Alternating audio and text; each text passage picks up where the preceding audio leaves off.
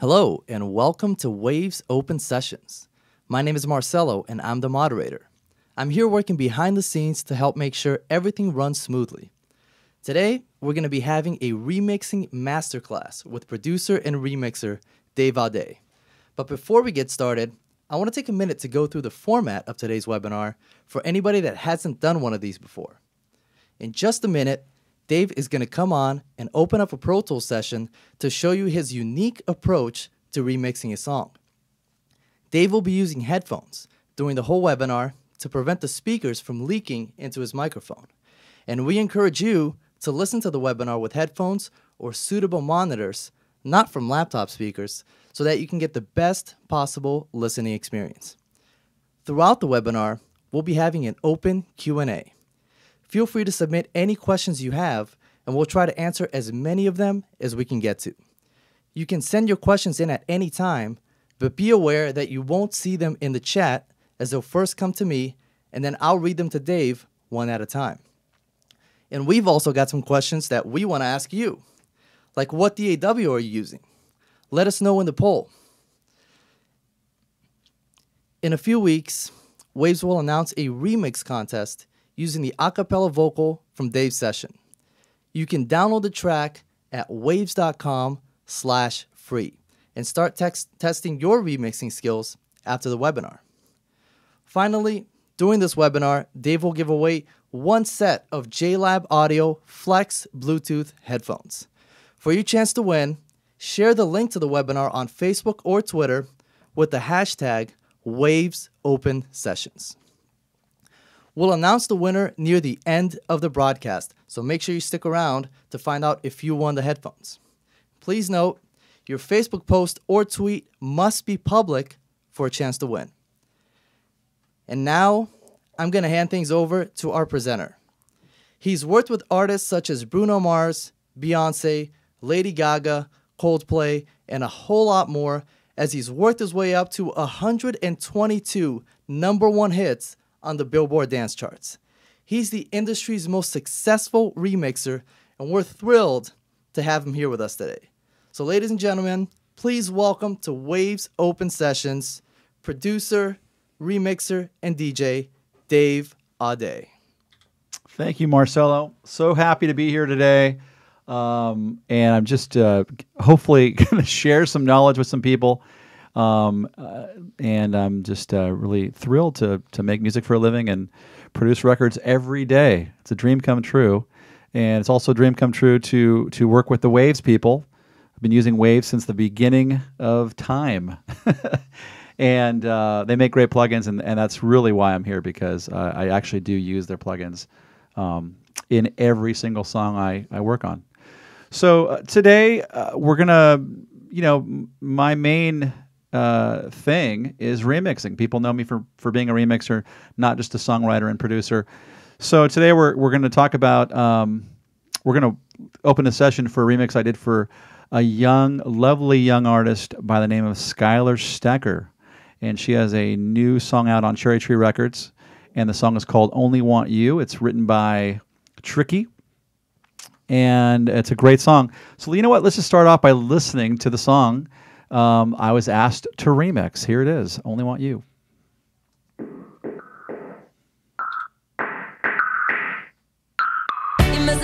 You're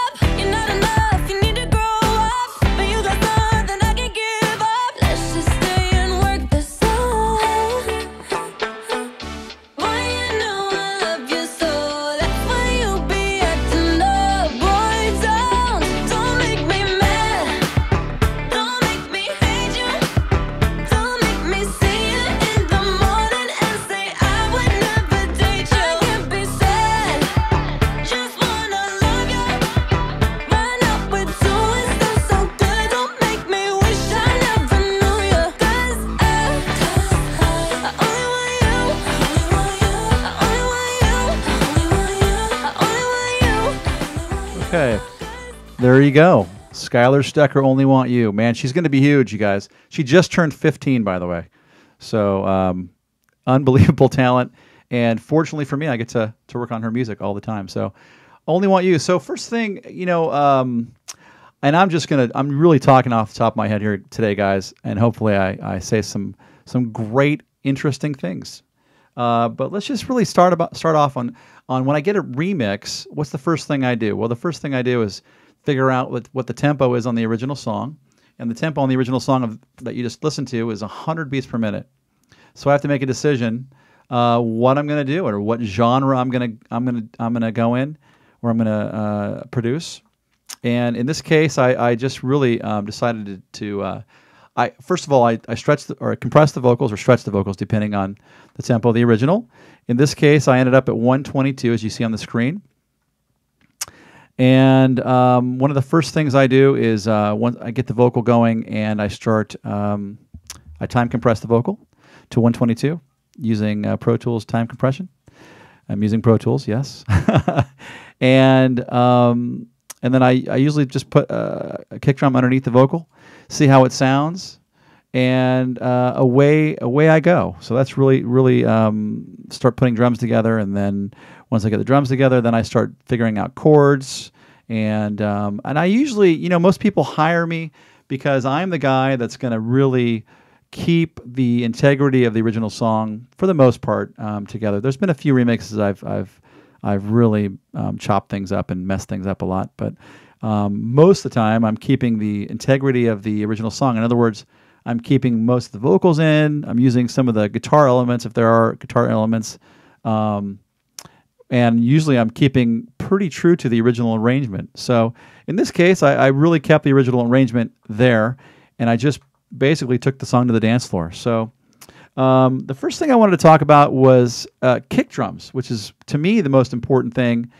in a remix. And um, I think many years ago when I when I started doing remixing specifically or producing actually too, I, I I think the first couple records I did, or maybe the first twenty, I for sure was putting in multiple kick drums, so three, four, five kick drums, and because I thought, man, if I put four or five kick drums in there, it's going to be make one humongous, awesome kick drum. And so I I pretty much realized after doing that a few times that maybe I'll just find one good kick, kick drum that sounds really good, and and instead of trying to trying to get five kick drums uh, to play together.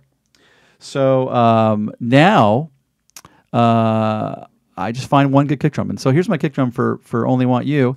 And uh, the plugins, I my go-to plugins, pretty much on every song these days because I've just done so so many records at this point, or at least many, many records this year. Uh, my current sort of plugins that I'm using are I usually use the Maserati drum plugin, and if you've you've seen me talk at NAMM or AES or anything, you've you guys have heard me talk about this before. So Tony Maserati makes a great plugin, and and um, he's mixed a lot of great hip hop and um, bass heavy records. So he really knows what he's doing when it comes to drums and bass. So I use this plugin on drums and spe- specifically my kick. And when you pull it up, it just goes right to BD, which is bass drum. And um, let's just pull all these plugins off here for a second and just kind of so you guys can kind of hear what's going on with my kick. So uh, figure out my tempo of my rec of the original record and the original key. Once I figure out the original key, then I tune my kick and I'm just kind of getting figuring out the scale of the original song and putting my kick drum.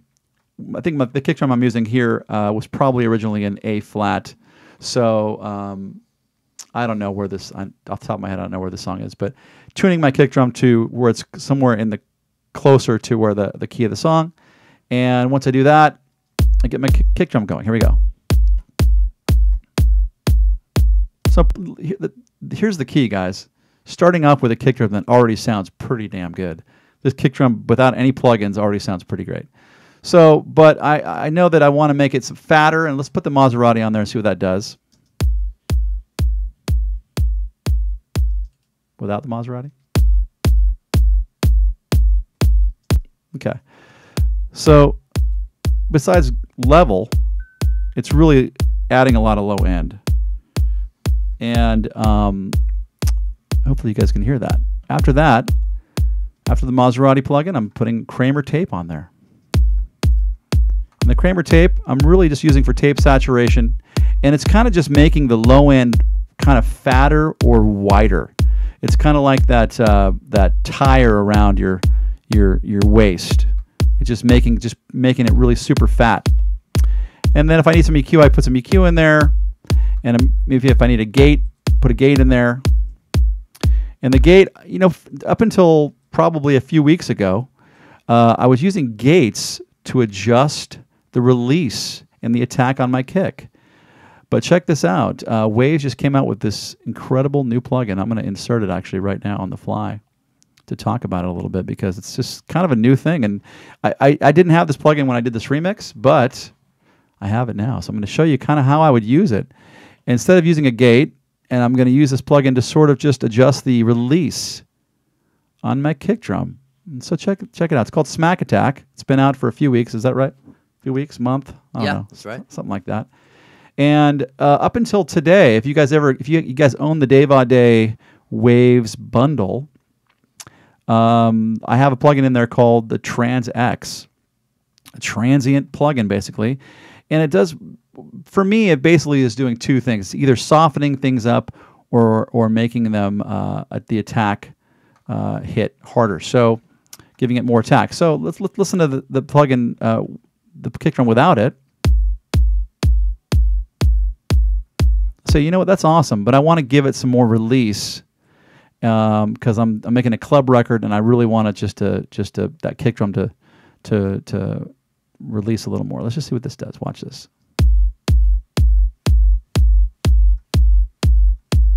Okay, so back it off. Okay.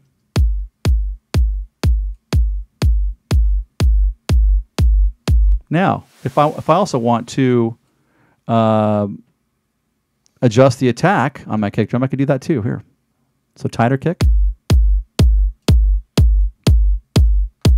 or softer kick. Right, tighter, tighter, softer. Now, why would I want to tighten up my kick or soften up my kick? Well, it leads me to a question. I'm wondering out there who when you who out there uh, likes to use multiple kicks. So, do you like to use a single kick or a multiple kick? And you can answer that right now on your screen. Me personally, I think I just said a minute ago, I like to use one kick and kind of adjust that. Now, once in a while, it's fun to put like a little hi hat or maybe another kick drum on top to uh, to give your kick some some bite. But using this plugin, um, actually use this plugin, you can actually use multiple kicks and um, ad- ad- adjusting the attack on multiple kick drums will allow you to place them in, on top of each other without getting phase, some kind of any kind of phase cancellation. So this plugin is actually allowing you to use multiple kicks. But in my case, I'm all, I'm using one kick drum, so I'm us- usually just using it to adjust the release sustain or sustain. Short, long. Okay. Cool plugin. So that's uh, my kick drum. And um, now you notice here I have three kick drum tracks, so I've just copied them over. Now when I'm when I'm producing, um, and this is something I've been doing for years because year, years ago plugins really weren't moving as fast as they are now. So I might want to use um, put a filter on a kick. In other words, uh, let's just check out this this this filter here and what I'm doing on the fly. So I, you notice I have my kick drum playing here in the verse. Kick drum's coming in the chorus here, and I want to use a uh, uh, a high uh, low pass filter or a high pass filter depending on on what I, what kind of trick I want to do. Let's just hear what I'm doing here.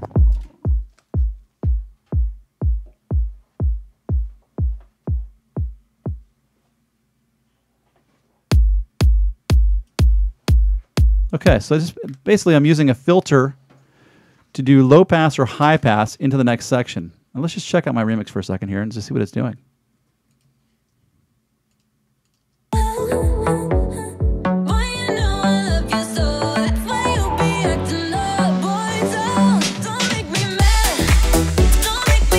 And I'm just crazy. I like to have my filters um, and, and move the. If, if I'm filtering a kick drum, I put it on a different channel because I just rather than worry about the automation snapping back, I just put it on another channel. Just a little little trick I do.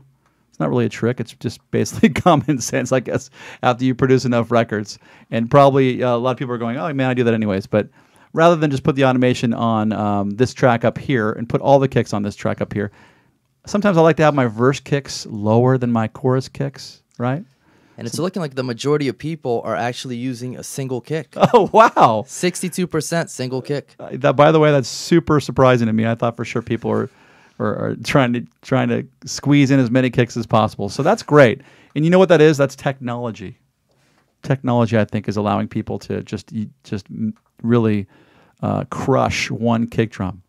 So it's cool to, to see that uh, people are just doing what i'm doing which is using one kick drum um, so that's all my kicks and, and here's my kick bus Um, now, we'll get back to bussing in a second. Let's just talk about. Uh, so I got my drums here, and this is another thing I want to talk about. And this is again not a genius thing, but you know, um, it's very important to have great organization skills when you're producing or remixing records these days. And for me, I always know that I'm color coding my kicks this color, which is kind of like a brown burgundy thing. And my drums are always red, and my sound effects are always the, the standard Pro Tools default kind of bluish grayish setting. My my sub bass is always yellow. My upper bass is always kind of an orange color. My pianos are always blue. So it's good to have organization. You know why? Because when you're working, you know where to find things, right? Yeah. And so here's my drums. And let's just go down to the bass. Let's talk about the bass for a second because everybody always likes to talk about bass. So here's my bass. And this this particular song, I have two different types of bass. Uh, my first type of bass is a, a sub bass, and let's just listen to what my sub bass is doing.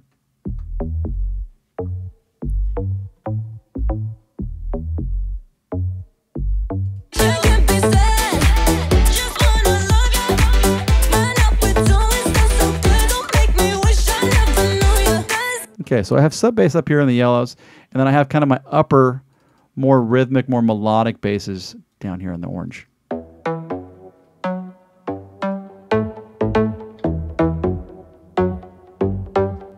So let's just talk about my sub bass for a second and what I'm doing up here on the subs. So I have this cool plugin uh, that I like to use, Radiator. You can use any kind of harmonic distortion plugin. This is pretty cool to heat things up.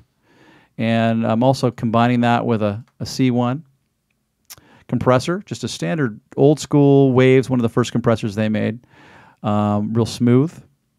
And then I'm also using a pusher, which which is made by these wonderful producers, Infected Mushroom. And um, what does a it's it's really hard to, know what this plugin does just from the name pusher, but basically it does everything. It's doing EQ, it's doing low end, high end, it's doing uh, compression and limiting over here on the push.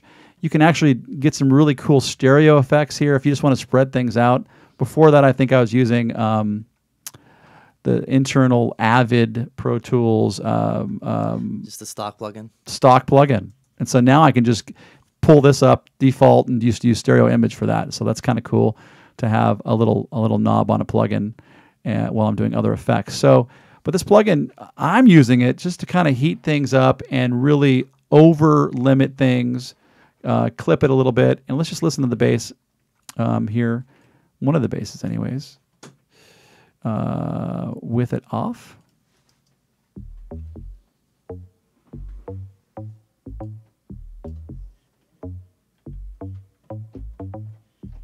with it on, and I'll tell you what I'm doing.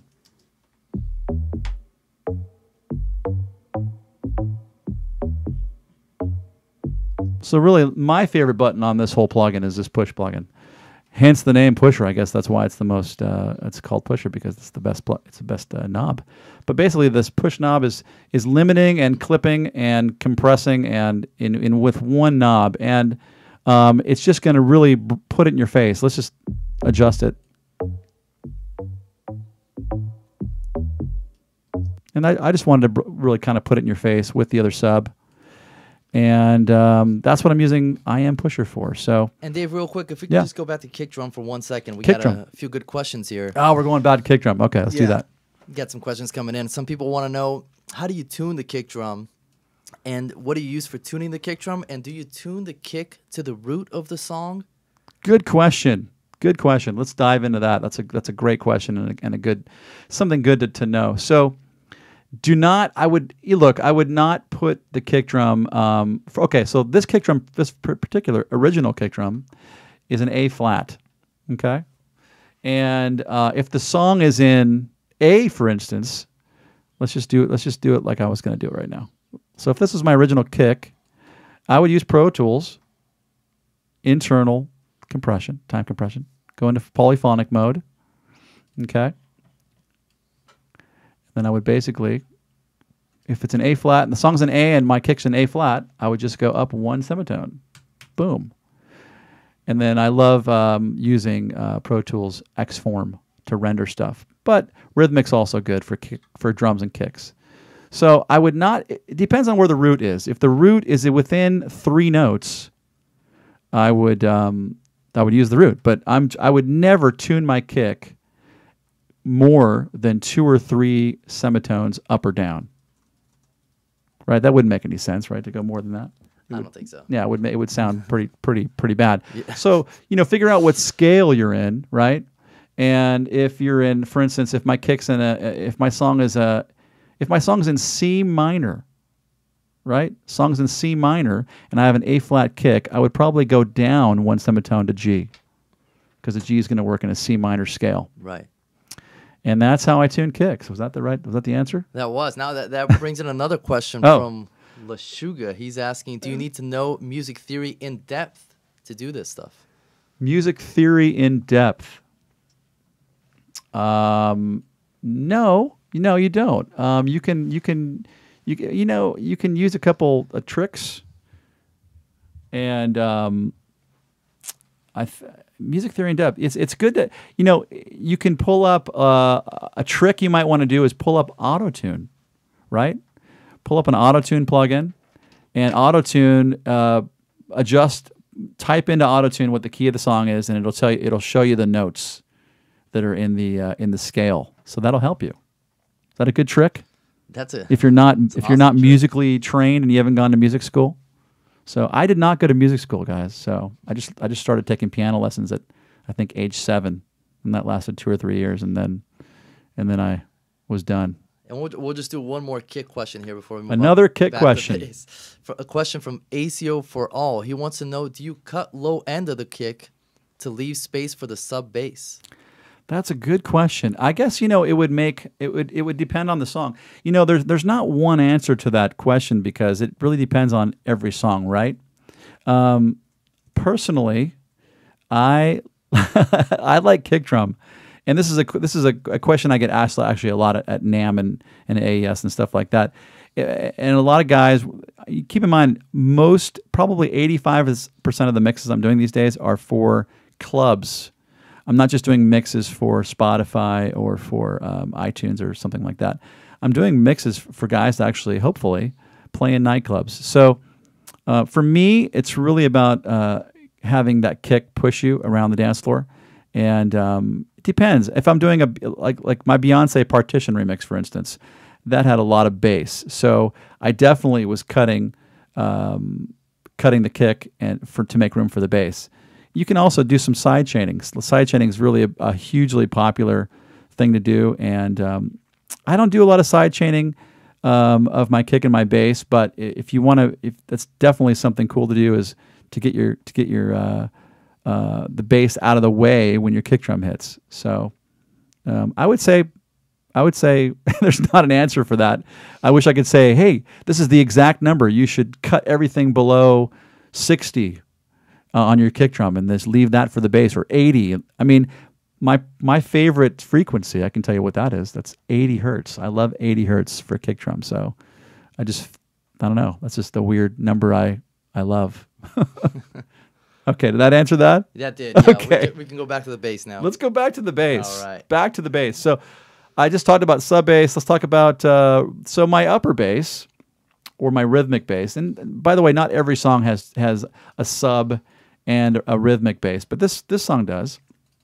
And if you look at this, so I'm we're going to come back to bussing in a minute, but I like to use bussing. In other words, I put all my groups um, out auxiliary buses. I have my kick, my kick or kicks out an auxiliary bus, my drums out an auxiliary bus, my sound effects, bass, sub bass, rhythm bass. So here's the rhythm bass auxiliary bus, and here's that pusher we just talked about.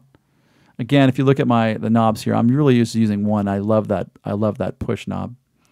And uh, I'm also using a decapitator, which is great for bass or great for vocals, even even cutting vocals. Believe it or not, it's kind of cool.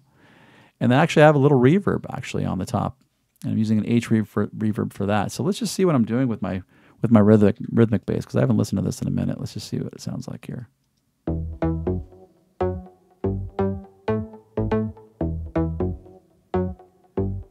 Let's engage that pusher and decapitator.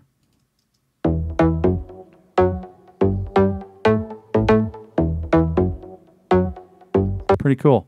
Reverb comes after, but let's just see what the pusher's doing. So pusher's it's pushing, right? And you can just really adjust this this push button to see just depending on how aggressive you want to be. To me, it to me it sounds great either just a little bit or even a lot. Both, both, both, uh, both ways sound great. But if you're going to add a little decapitator in there too, let's move, I'm going to move this over. So let's put both up there. Okay. So if, you're doing both, just that's going to depend on how much push you have, right? So. So really, I'm using decapitator to brighten it up. If you look at my tone here, I'm also cutting just a. I'm cutting like around 30 or 40, I guess.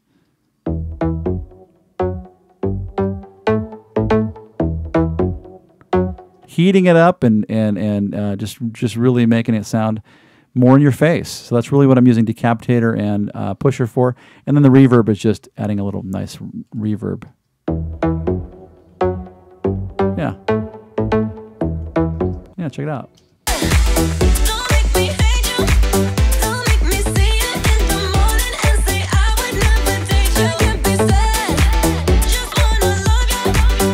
Kind of helps the bass. Those those plugins are really just helping the bass kind of speak to me. And are you using any compressor on the rhythmic bass? That is a question from KC. Good, good. Uh, that's a good question. Over here, I'm using a limiter, so I'm limiting the bass. This one bass, uh, actually. Old school L1 limiter.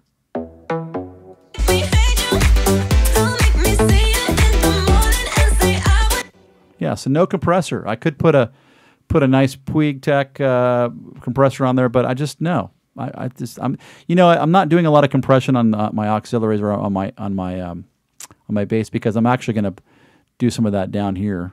We're going to talk about that in a minute. And one more question here Yeah. from Switch Twister. He wants to know Does Dave use soft synths, sample packs, or hardware for his basses? Oh man, it's a good question. What's what's the right answer for that? I mean, okay, here's the here's the here's the right answer. The right answer is I have a room full of synths, and I find the right sound, and I just turn on my old Pro One or uh, I turn on my Studio Electronics SE One awesome uh, rack and find a cool bass. That's the right answer.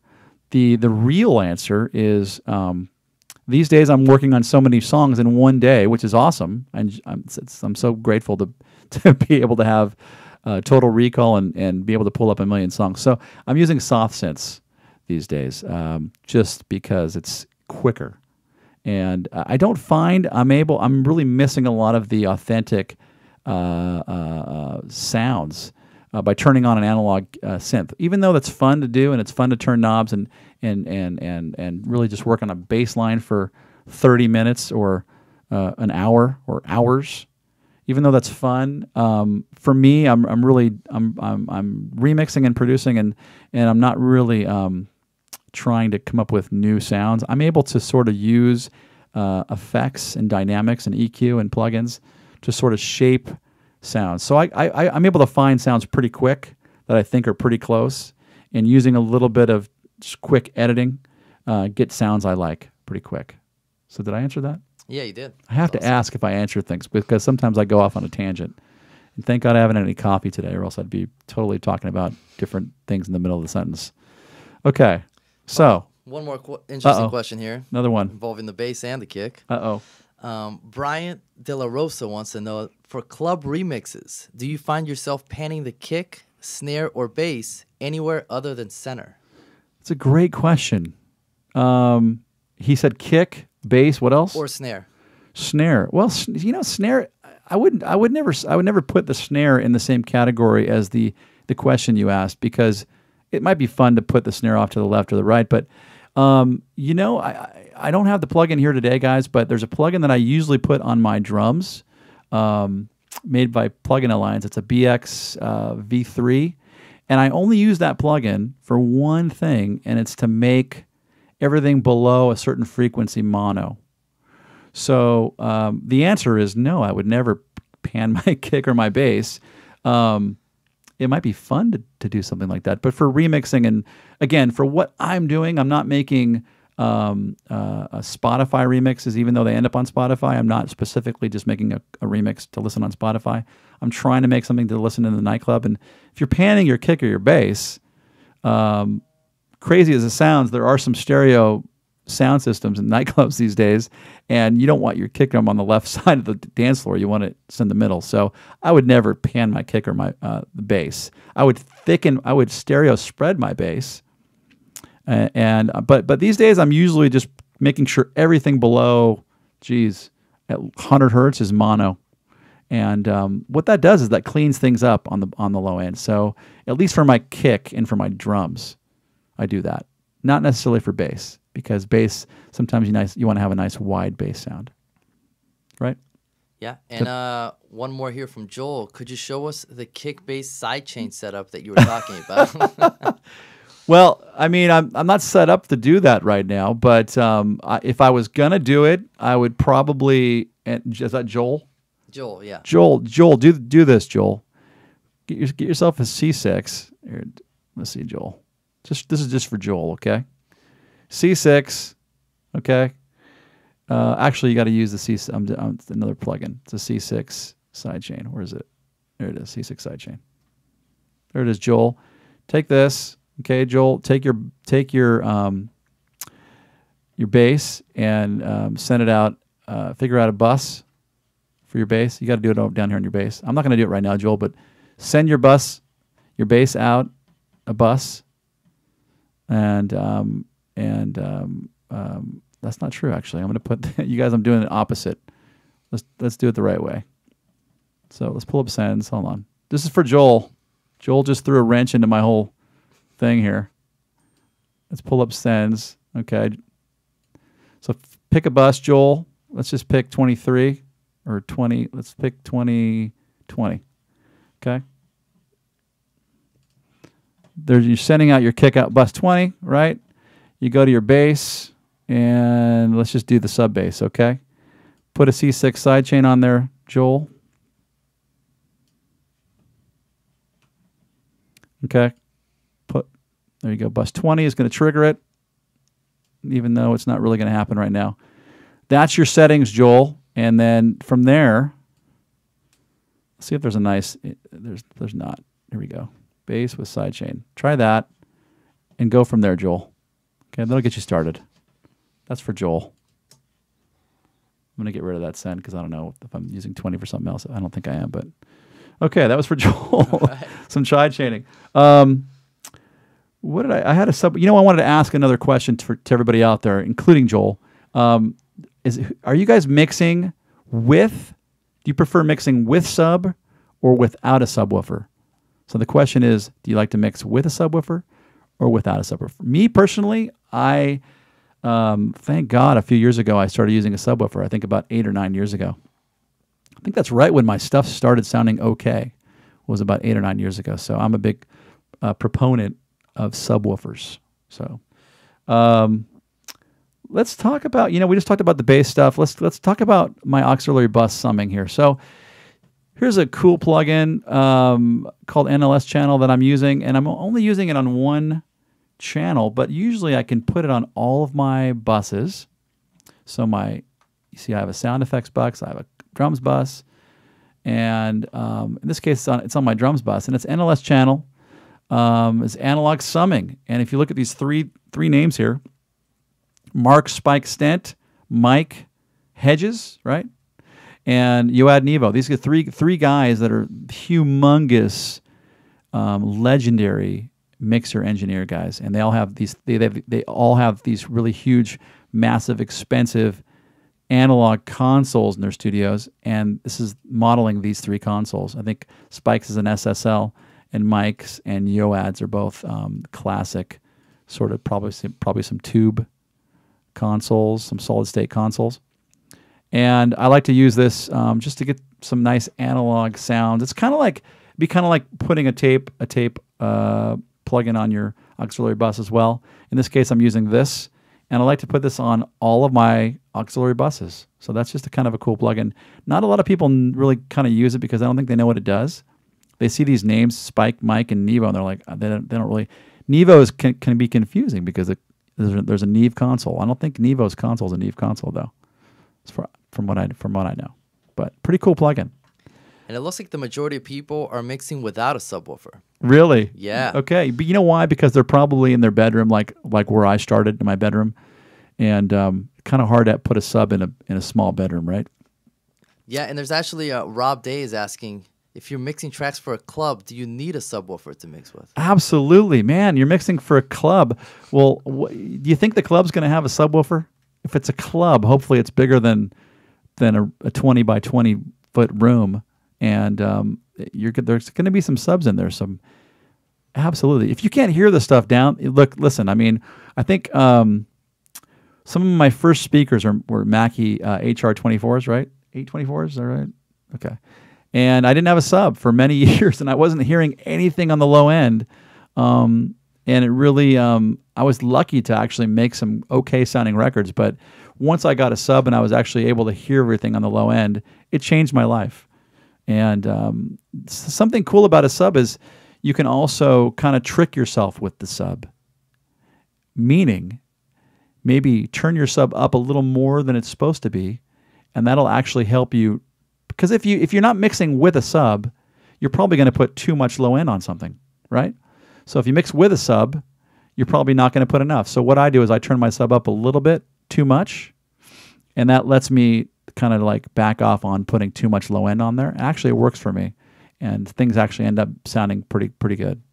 So a little- Now, yeah. Jay Ish wants to know if you have big speakers that cover a sub range, do you still need a subwoofer? big speakers is what he's saying Yeah. that cover that cover a sub range um if they're like two feet from your your head and you have gigantic 30 feet speakers that are on each side of your ears then you don't need a sub i'm thinking i'm thinking you don't need to buy a sub for for that um i think the answer is dude you know, if it sounds good come on the, the key is you want to you want to hear stuff on the low end. So I'm a I'm just a fan of subs, subs, sub sandwiches too. I like to eat.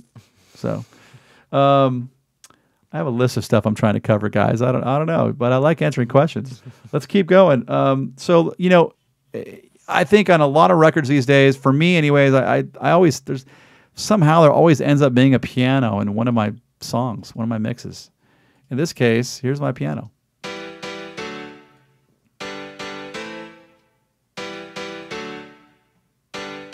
And let's just put the. I have poly synth in there too. Let's, let's listen to that one too.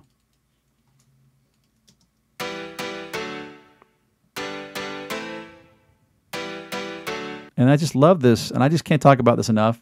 Jack Joseph Puig makes these great plugins, but I just use this this his uh, his strings and keys plugin. Every pretty much every song I'm putting it on my piano and my pa- and my poly synths. I'm going to move that over. There we go. There we go. And uh, check it out. Before. Here we go. And after, let's put engage these. Okay, it's just really adding a lot of high end. But what it's doing is Jack Jack's mixed a lot of records. He knows exactly where it sits. So you could literally just pull the plugin up and just click on piano, and it's going to sound great. Let me kill the vocals for this.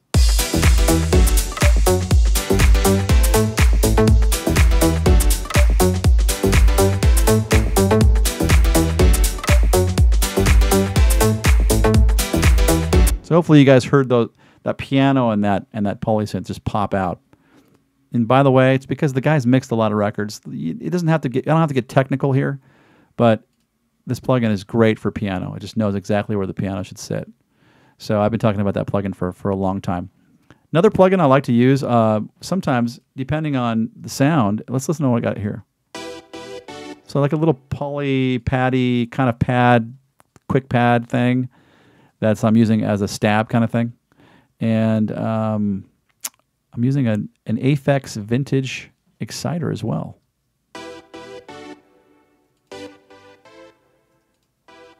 Okay, so in this case, I'm using the Jack Joseph Puig, uh, same plugin, guys, but I'm using the synth. It's actually the it's the default factory default, but the synth setting on this just really is a great for thickening up keyboards. The piano is really for making things super bright and kind of punching out, but the synth setting is just kind of thickening, thickening, um, thickening, thickening. Is that a word? Yeah, thickening up synths. Listen to that.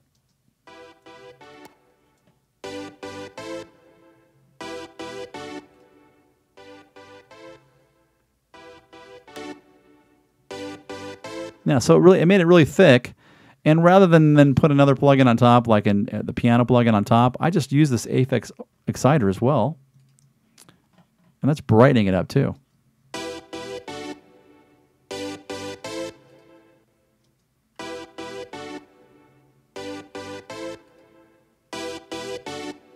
Ooh, nice, nice plugin. That's just you know what, and it's it's one of those things where you just literally go to the go to the presets, piano A or B, or though they're both good. Another good preset is vocals.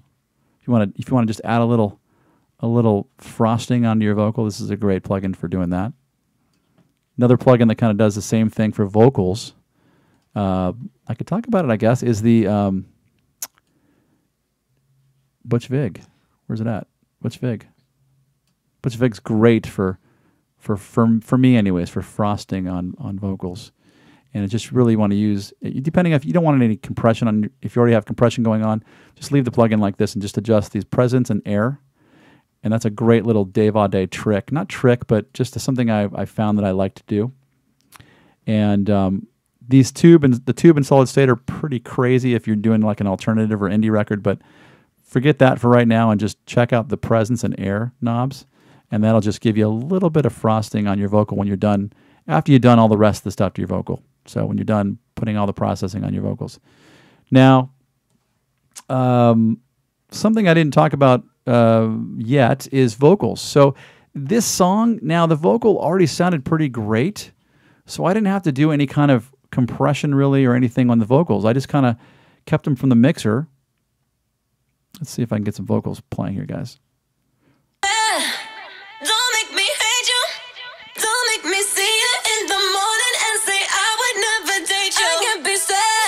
The vocals sounded pretty good. So, I mean, literally, I'm just putting them out, out an auxiliary bus like I talked about before. And um, I just needed to, I don't need that Butch Vig, do I? So, Don't make me hate you. there's my NLS channel. In this case, I chose to use Mike Hedges setting and just using this one knob, getting some drive on that, some analog summing. From there, I'm de-essing. De-essing does exactly what it says it's doing. You guys know what a de-esser does, right? So just cutting some high end. I love the de-esser on, on, uh, on, my vo- on my auxiliary bus for vocals. Uh, some EQ if I need it. Uh, this case, I'm just doing a high pass, know, big deal. And then I love Jack's another Jack, another Jack plugin. Man, the guy's the guy the guy's uh, an incredible engineer.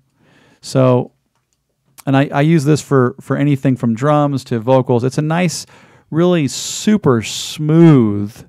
Can't really hear what it's doing, but it's super smooth compressor, and it's just a beautiful, beautiful piece of piece of machinery. Um, and then I got this crazy, crazy plugin here called H Reverb. And the H Reverb, I'm kind of doing some crazy little trick, and it's really just kind of giving me a really tiny sort of um, shimmer on my vocal track because I have a really, really quick reverb time, 33.33 seconds. And I'm just really using it as just giving uh, the vocals a just a little bit of uh, a flavor, shimmer, shadow kind of thing. So that's just like a thing, and, and I'm probably going to save that. You guys can just look at the plugin right now. if you guys, if you have reverb, just basically give yourself a nice short reverb time. And Dave, is it recommended to have all the vocals in the center of the stereo field, or do you have the main vocals in the center and backup panned out left, right? This is the same guy asking panning questions. So it's just, no, you know, um, no. For me, I like to the the lead vocal. Obviously, uh, you want that to be in the middle of your mix.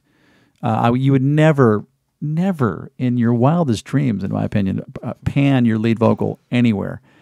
Once you do that, though, you can take your effects and your your backgrounds, which are down here. Here's your background track, and you can pan those funky. I mean, in this case, you know, when I'm getting vocal stems from the label um, or the mixer, you're getting them how he mixed the record. So,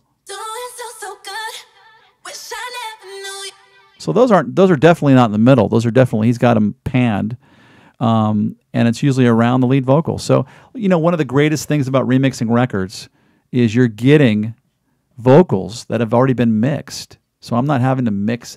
By, by the way, and sometimes I'm getting vocals that are that are terribly not mixed, and I have to redo the whole thing. But most of the time, for major label records, for um, like for this week, I'm working on um, Nick Jonas and I'm working on uh, Rihanna. So th- those those are huge label records uh, that have been mixed by some of the best mixers in the world. And so you know, fortunately for me, they already sound pretty good. So uh, I would just leave your leave your lead vocal in the middle, and you know your your backgrounds and your effects should sort of uh, surround your lead vocal.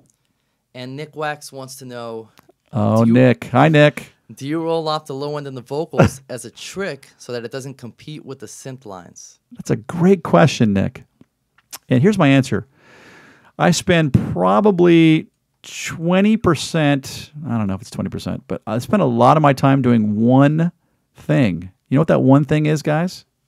It's going just to a basic EQ on every single instrument, channel, on vocals, on synths, everything but my everything but my bass and doing this. And we just had this conversation a minute ago about subs, right? Yeah. So you'd be surprised uh, the records I get to remix. People can't. People aren't. They can't hear the stuff on the low end. I can hear it, and I'm doing this on almost every everything except for for my kick and my bass because I don't want anything to have vocals or you know. First of all, your vocals shouldn't have anything below 100 hertz, right?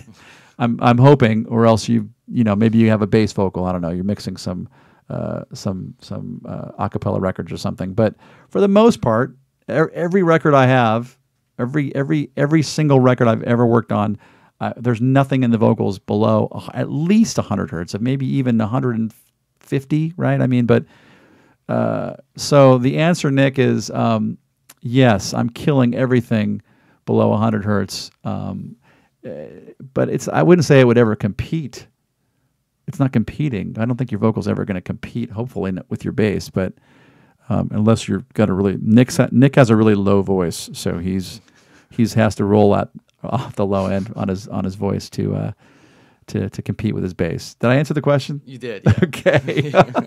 I don't. Sometimes I answer it. Sometimes I don't, guys. I don't know. Um, so I, you know, I, I, I want I don't want to wrap up here too quick, but I think I want to talk about uh, one more thing, which I, seems like people do want to know um, about my master my master chain and what I'm doing.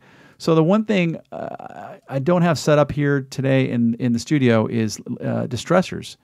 Um, and I'll tell you what I do with distressors in a second. But so the first thing I do is, you know, I'm using auxiliary buses. Once I get all my auxiliary buses, my kick, my drums, bass, synths, sound effects, vocals. I think did I miss any? Strings, piano, whatever you want to do. You can get as crazy as you want to get with your buses. There's no there's no limit to the amount of buses. Uh, throw them all out a main auxiliary bus, and that gives you control uh, to go into your uh, uh, your master fader. And in this case, I'm using a, another auxiliary bus. I'm calling a send and a receive, and the send's actually the send is going out to um, some distressors, and the receive is coming from distressors. So the send I'm doing. Man, I love this plugin. I can't say enough about this plugin. Uh, this came out a couple years ago from Sir Greg Wells. I think he's been knighted by the Queen at this point, um, the Queen of Canada, because I think he's Canadian. Um, and this plugin's awesome. It does one thing, and it's it's it, there's there's a lot of stuff going on behind the plugin. You guys, there's a lot of compression, limiting, EQ. Uh, harmonic. He has, he has a lot of harmonic stuff in the plugin that you can't hear, and you just got to adjust it. I I know that every record I do, I want to put this on my master fader and kind of keep it right around here. And you should just obviously try different things and put it on different bussing and different try different things. But for me, I just know right around here at 17 or 18, it sounds awesome. And then I'm going into a Kramer tape because you can't get enough of Eddie Kramer's tape plugin. I'm usually using that on drums and then in my master fader for sure every single song. Um, in this case, it's a it's a 15 I inches per second setting, and so it's not super slow, but it's not super fast either. So uh, I don't have iZotope Ozone on this uh, computer, but I usually use that for for one thing: color, little bit a little bit of color, a little bit of little bit of dynamic, um, a little bit of EQ. I'm not using it in the old days when iZotope Ozone first came out. I think everybody was using it for level. Um, I'm not using it for level anymore. I'm using it for just a little bit of coloring. Um, then I'm going to distressors. So this will be actually going out, analog out to some distressors, coming back in on my receive from distressors, and then I'm de-essing again on my master before I go into my master fader, just to sort of I'm I'm trying to gain some more level with this de-esser. Just it's just just same thing I'm doing on vocal my vocal channel, kinda, except I'm at 16k here, whereas my vocal channel might have been at 15. I'm not sure. Um, from there, I'm going to an MV2, and this is a plugin I talk a lot about. It's also in my bundle that I that, that I put out a couple years ago, my Waves bundle. And a lot of people don't use this because they just don't know what it does. It's kind of an anti-compressor, if that makes sense. It doesn't make any sense, does it? But check this out. Put it on your master fader, and it's just a little. There's there's a little bit of love, and it's this one knob here, somewhere down here, and I thought you can pull the high level down, and it's basically going to bring everything in the in the in the that you can't hear out a little bit. Does that make sense? The stuff that's kind of down in your mix, it's going to kind of bring it up a little bit, depending on where you put this low level fader. Basically, low level fader stuff that's at low level, it's going to bring it up a little bit. It's a pretty cool plugin, and not a lot of people use it because they don't know what, what it does. Uh, recently, I've fallen in love with um, Avid's Pro Limiter. Super smooth, super clean, easy to use. The character knob's cool. Adjust that depending on that. That adjusts your your input and your attack. Um, notice they didn't put an attack button; they put a character button. So uh, that's really super smooth, and I just love that. It's my favorite limiter of the month. And from there, going back to my one of my favorite plugins of all time. You know, for years I was using an L2, and then I became an L3 guy. And the last six months, I've gone back to the L3 Multi Maximizer, and um, this is a really great plugin. It's a really great plugin to use um, because it, it just basically kind of pulls everything together at the very end. Um, and I'm just you can see here I'm only using two and a half dB of, of gain reduction. Um, but the cool thing about this plugin is it makes things sound just kind of brings it all together right now. Now here's a little Dave Audé tip: is if you're if you're going to have somebody master your record, I would give it to them without this. So this is basically for you listening in your studio, in your car, or whatever you're doing. And then I would bypass that and then run everything before that. Give that to your mastering guy, which actually leads me to my last question. Yeah, we're gonna run a poll here. We're going to run a poll. Do you like to master everything yourself? Um, or do you like to let someone else, someone else do it? Or do you, do you prefer delivering a hot master to the client? Or do you prefer letting someone else master your song? I'm just curious what the, what that's going to come back. Me personally, I, I've been, you know, a few years ago, I probably for 10 years, I mastered everything myself because I didn't trust anybody. But lately, I've been sending all my stuff the last uh, five months to a place in the UK uh, called Wired UK, and they're doing it. they do a lot of EDM type projects, and they're killing it for me. And I just give them a 32-bit master with my um, L3 bypassed, and uh, gives them a, gives them enough room to work in. So that's that's what I do. Um, I think we're gonna we're gonna kill it there. Uh, if we have any questions, what do you think? Uh, how are you gain staging? K Nappy wants to know. Okay. Nappy wants to know how I'm gain staging. Nappy. Hi Nappy. Um, right here with my with my main um, auxiliary. So all my all my all my different auxiliaries are going into my main auxiliary. And from there, I'm again, like I said before, that's going into the send, that's going to the dist- distressors, back out of the distressors, back in, and your master fader. Now, cool. Another one cool last trick I forgot to say is uh, Pro Tools coming coming back in, just like Ableton. Back, by the way, um, you can actually just push your ma- your master fader here on Pro Tools. You could you'd, you'd be surprised how much you can push it. Kind of in Ableton. Ableton, you kind of push your master fader until it breaks up, and that's kind of where you leave it, right? Pro Tools, believe it or not, ha- it has some uh, channel distortion you can use to kind of give yourself a little more a little more heat on your song. And Yeah. uh, David Park wants to know: Do you leave six dB of headroom when you send it to a ma- master engineer? Oh, David Park. Hi, David Park. Uh, David Park. It's a wonderful. It's wonderful to quote numbers. Six dB. I would say um, there's. I would say even a couple dB. If you have a good mastering engineer, they should be able to to to. Uh, and by the way, David, it depends if you're if you're ridiculously smashing your mix, and you have six dB. Is that that's not going to matter, is it? So the the answer there's not really an answer to that question, David. Uh, I would say six dB is a lot, but um, sure you can give somebody six dB. But the, the more more importantly is you don't want to ridiculously smash your mix before the six dB. So you can give 10 dB, but if your mix is just completely smashed, it's not going to matter, is it? How many dB you give them? and SOL wants to know how hard are you're hitting the distressors. How hard?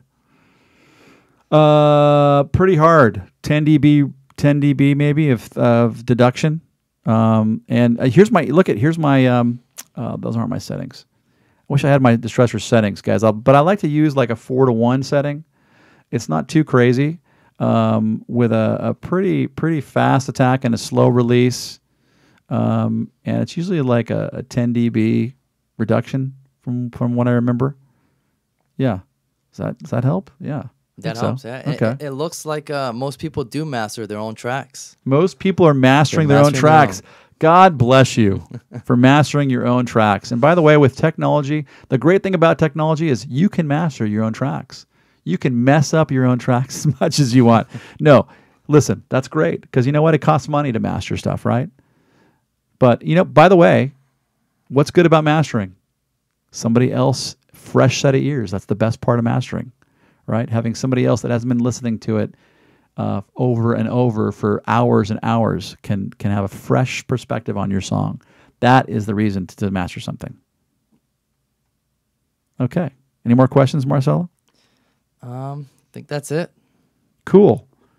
Uh, thanks for having me. Uh, and, and, and we're gonna um, Marcelo's gonna gonna talk about some cool things. We're gonna give away Yeah, some we're, headphones. we're gonna announce the winner of the JLab headphones. JLab's an hope you awesome- excited about that. awesome company down in Ocean, Oceanside I hooked up with, and I'm wearing their headphones right now. And uh, I, I love their headphones. They actually, you know what? They make really cool. We're giving away some really cool Bluetooth. So they're actually wireless Bluetooth, which is crazy. Um, Bluetooth headphones. Yeah. Yeah. So thanks so much, Dave, for that awesome webinar. And make sure that you go to waves.com slash free to download the acapella vocal that Dave used so that you can test your skills and remix it yourself. And the winner of the JLab Audio Drum Flex roll. Bluetooth headphones is Jonathan Lurd. So the Waves social team, they're going to be contacting you, Jonathan. Congratulations on winning the headphones. Thank you all for joining us and hope to see you at the next Waves Open Sessions.